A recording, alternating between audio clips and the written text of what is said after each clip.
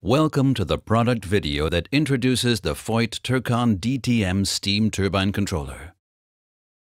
This video will show you just how powerful and flexible this controller is. The controller is very well suited to most industrial steam turbines of all power classes.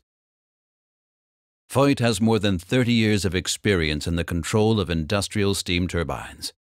Voith tailor-made control systems have proven themselves for many decades in power plants and process critical systems, for example in the chemical and petrochemical industries.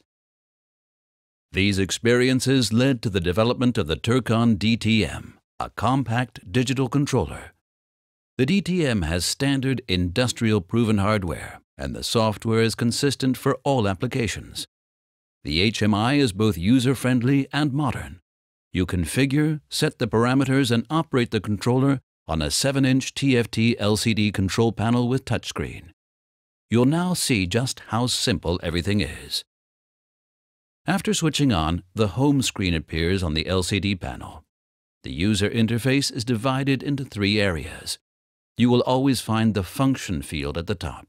It contains buttons for important functions and messages. In the middle, you can see the large display area you can navigate quickly through the various menus using the buttons below. First, we will log in. Multi-level password protection provides high operational security. We'll select the expert user, who can perform all operating and setting functions. Let's start with configuring the turbine system. We can see the current controller configuration in the P&I diagram. This is the maximum configuration for a two-stage steam turbine with live steam pressure control, extraction pressure control, and back pressure control. A generator is coupled to the turbine. We can see the associated configuration setting here. Let's now set the minimum configuration.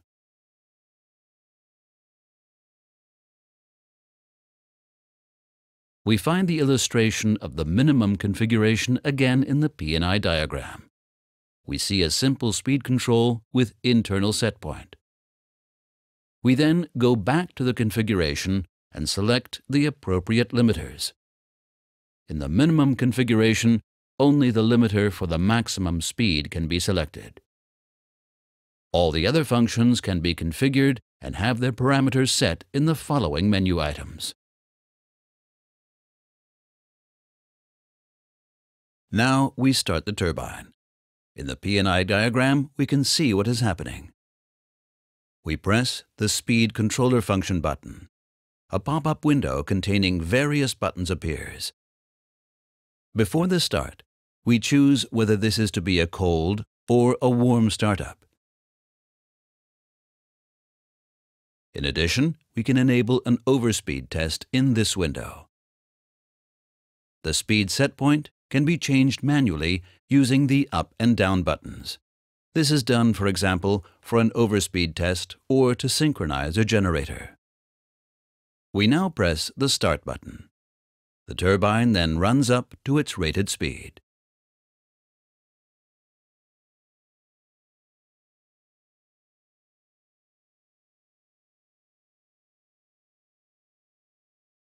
To shut the turbine down, we press the Stop function button and then the Stop button again in the pop-up window. Another helpful function is the archiving of status, warning, and alarm messages. With this function, faults in your process or system can be quickly detected and corrected. Pending alarms and messages show red or yellow blinking LEDs on the Messages button. We see the messages when the button is pressed. The Turcon DTM automatically saves the last thousand messages. We access all of these messages using the Archive navigation button.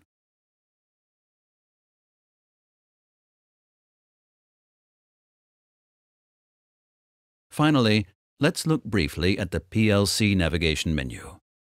There is a menu item called Save and Load Parameters. In this menu, you can save all the configuration and parameter data onto a memory card. Another Turcon DTM controller can reload and use the entire dataset. This overview is only a brief summary of the vast capabilities of Voith Turcon DTM.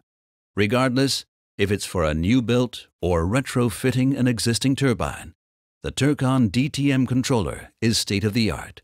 A strikingly good price-performance ratio and high operational reliability have a positive effect on your total cost of ownership. Let's talk, and together we'll find the best solution for the actuators and control system of your steam turbine. Voith, engineered reliability.